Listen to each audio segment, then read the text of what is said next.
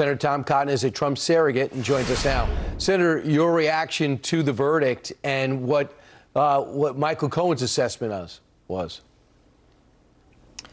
Brian, yesterday was a sad day for America. Uh, you had a partisan witch hunt in New York with the prosecutor who'd campaigned on getting Trump uh, for any charge. You had a judge who literally was a Biden donor.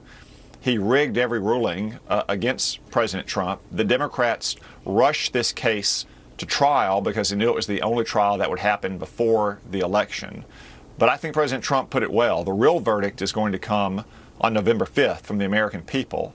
And they're going to base that verdict on runaway inflation and our wide open border that has had 15 million illegals cross it, or the war and chaos that Joe Biden has helped unleash around the world.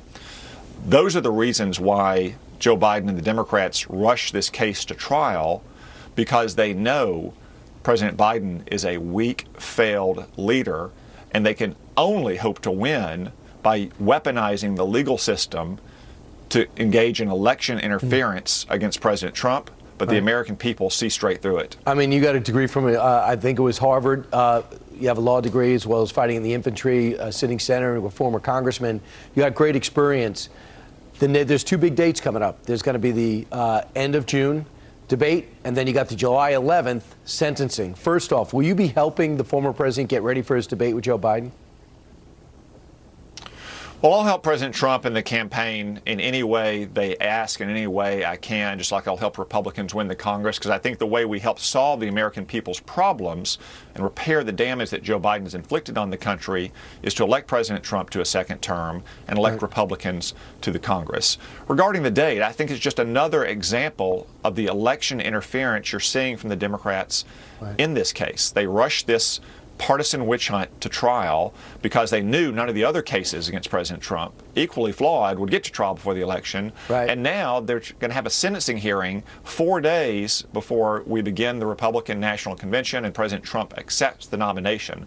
Once again, this partisan judge, who is literally a Joe Biden donor, is rigging the process to try to help elect Joe Biden. But again, the American people see straight through it. So, Senator, you got a call uh, when the George Floyd riots were raging. They basically said, How would you handle it? And you said, Send in the troops. Uh, and by the way, the, the current president says it was peaceful, the George Floyd riots. Uh, I don't know what country he was in at the time. And you wrote this op ed. Did you have any idea the ripple effects it caused? Because now Nellie Bowles got this brand new book out, and it's uh, a bestseller. She was at the New York Times, along with Bari Weiss, uh, at the New York Times. Both left when she was told to condemn the editors that allowed you to write this horrible op ed about using your thing called your opinion. And here's an excerpt from that book. I wasn't going to tweet the tweet we all had to tweet that day. And that was really the final moment for me in the moment within the paper that to them was picking a side. And we all had to raise our voices together and try to get the editors fired. And I just wasn't willing to do that. I lost friends immediately. Anyone who didn't post that was seen as very suspicious from that day onward. And that's Nellie Bowles, uh, someone who's not a Republican, but talked about that what is your reaction to your editorial and the ripple effects? Well, Brian, it's really just another example of the kind of Stalinist tactics the left uses today in America, like we've seen on the trial in, in New York. I, I, knew that New York Times readers would respond negatively to my op ed. That's one reasons why I published it there. I thought they needed to hear it. And obviously, the writers and the staff there reacted negatively. What we didn't know is that they also tried to silence and, and cancel anyone at the New York Times who didn't engage in the same kind of attacks on me. Uh, it really is like what you see with President Trump in New York with his judge, for instance, imposing a gag order on him in the middle of a presidential campaign so he can't go out and campaign.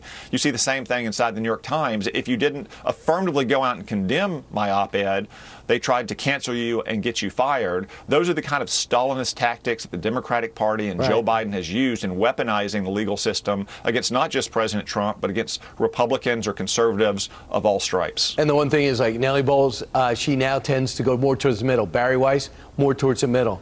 Uh, you look at uh, Bill Maher, more towards the middle because of the way the left has acted.